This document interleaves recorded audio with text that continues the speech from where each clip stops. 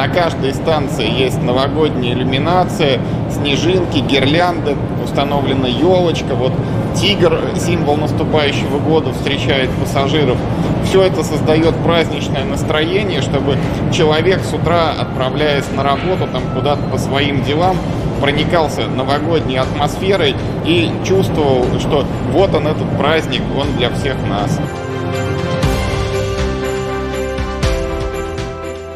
На нашем предприятии традиционно э, такую идею по проведению новогоднего конкурса подали непосредственно работники службы движений. В плане украшений кассовых залов и фойе станции метрополитена каждый коллектив, а в коллективе это порядка от 20 до 30 человек, почти каждый принимает участие для того, чтобы создать хорошее настроение не только пассажирам нашего города, но и также своим же работникам. В конце года ежегодно мы подводим итоги, выделяем фаворитов, но каждый коллектив станции не остается без внимания.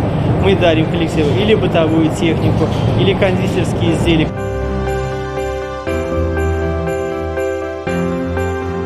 Снежинки вырезала, вот сейчас еще доклеиваю. Это просто, чтобы пассажирам было приятно, даже и нам самим. Сидим на рабочем месте, и тоже приятно. А у нас два вестибюля, надо этот вестибюль нарядить, и на то. Рук не хватает. Территория большая, снежинок полно резать надо.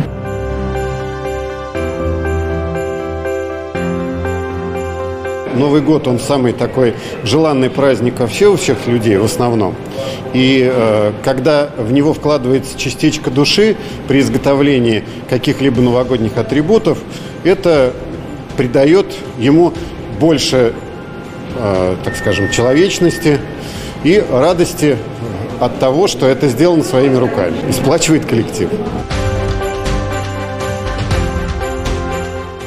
И помимо метрополитена, у перевозчиков, которые работают по автобусным маршрутам, по трамваям, по троллейбусам, также заготовлены новогодние акции, поздравления для пассажиров.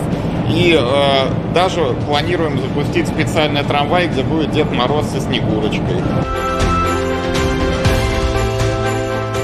Настроение поднимает, конечно, Новый год кругом в городе, и раньше было в детсадах, во дворах елки.